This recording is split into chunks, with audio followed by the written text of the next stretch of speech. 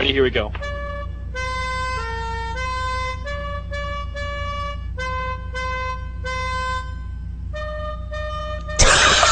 That was that was awful. It's so bad! That It's wasn't so right note. What note did you buy, Delirious?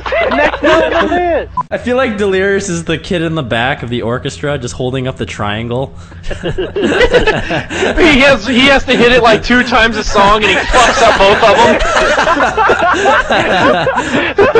I don't know when I have to go. After Vanoss goes da da da da da da, it goes living in a barn. Again, you have like two notes.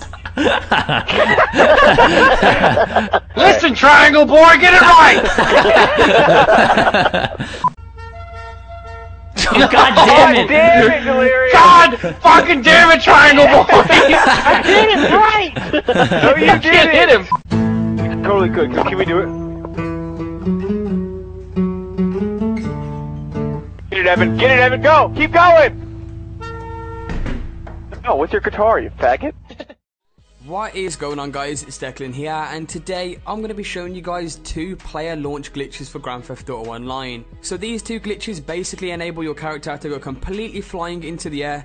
Definitely one of those funny moments type of glitches that you can show to your friends and definitely have fun with. I know I had so much fun with this and I was doing it by myself. As you can see my character does